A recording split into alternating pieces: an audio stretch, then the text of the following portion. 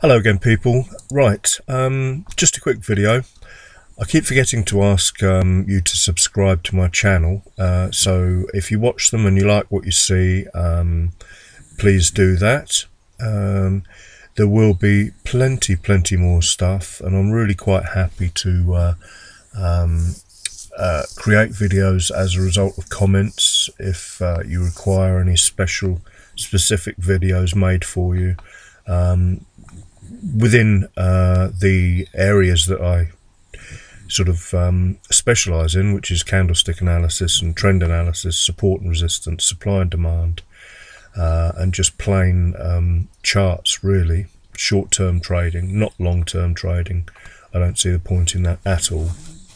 But, uh, but um, and the reason for this video is I was just going to show you another little trend and this is based on the 30 minute. I don't really want to get involved uh, personally uh, in 15 minute uh, alerts because I find they're not as uh, reliable. Um, let's just have a look.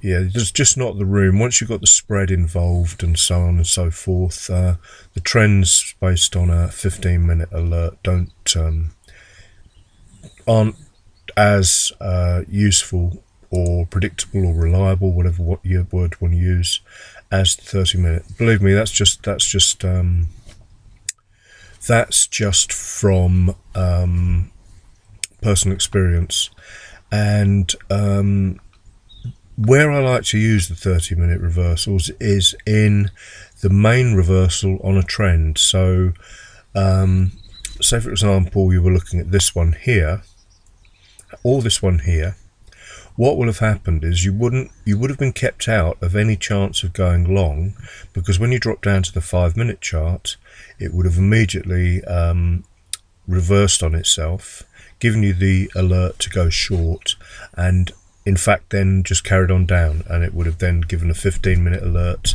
and then you would have been totally out of um, alignment uh, with your 30 minute alert. So you know, I've mentioned this before, the beauty of using the crossover alert to on the lower time frames to um, to keep yourself in the right direction and not enter too early or not enter too late is is just uh, is just a thing of beauty in my opinion.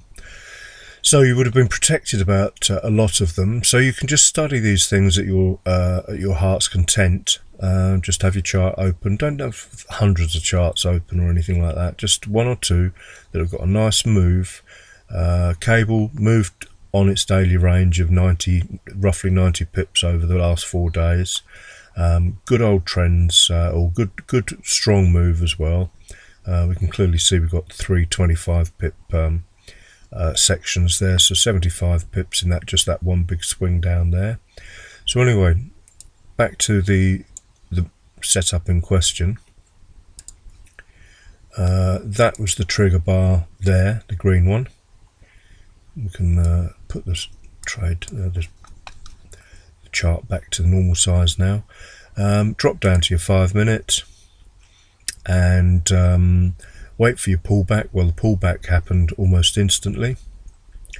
Uh, four or five five minute bars, and then you get your uh, your trigger to go long.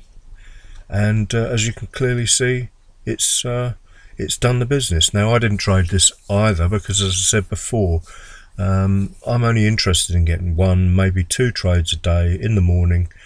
Um, I do uh, if I'm about I used to regularly uh, go for these uh, end of day trades and they were high probability quite often as good as the uh, start of the day trades because uh, you know we know when a big move has happened then they will want to uh, take some profit off those moves and you will get a, uh, a reasonably reliable um, uh, trade. And uh, as you can see this happened. It did happen on a previous on the previous day as well.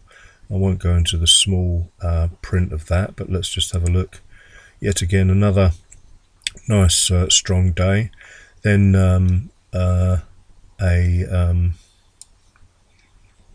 oops no I don't want that want that one then your uh, trigger, and then clearly nearly 25 pips from uh, entry to target. So you want to get 12 or 15 pips there, 12 or 15 pips there.